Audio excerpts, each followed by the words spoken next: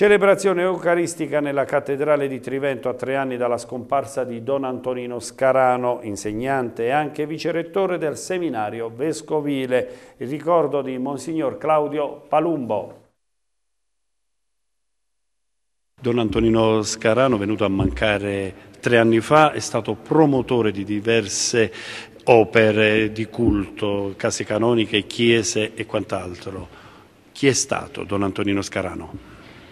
Io in una parola, alla luce dell'anno di San Giuseppe e di questo mese di marzo che è appena cominciato ed è dedicato a San Giuseppe, vorrei definire Don Antonino proprio un padre realizzato nel senso pieno del termine. D'altra parte il fatto che a tre anni di distanza dalla sua morte la gente lo ricorda ancora con affetto, con amore e la presenza anche questa sera in cattedrale lo ha dimostrato, è un certificato proprio di riscontro di un sacerdote sacerdozio bello che si è speso proprio interamente per la gloria di Dio e per la salvezza delle anime. Circa 50 anni a servizio della diocesi di Trivento tra Molise e Abruzzo. Qual è il significato adesso?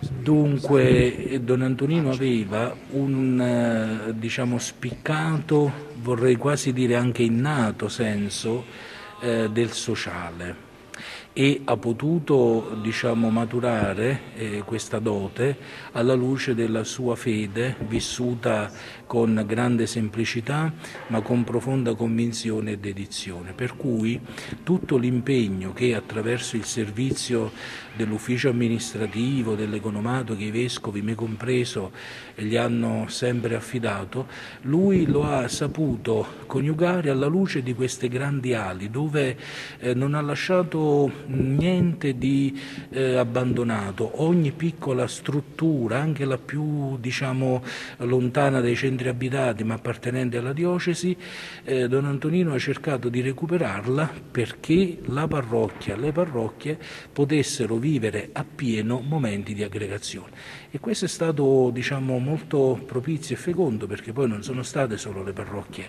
eh, della diocesi a beneficare di questo, ma anche tanti gruppi che nel corso degli anni sono venuti a Trivento, si sono trovati bene e continuano ancora ecco, a chiedere di poter essere ospitati gustando anche il sapore della nostra gente molisana.